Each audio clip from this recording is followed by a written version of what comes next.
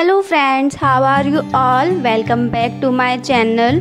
Today i am going to make reel card tutorial and you can also say reel photo album.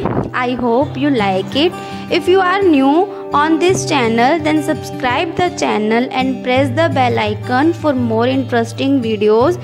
And don't forget hit like button. So let's start the procedure.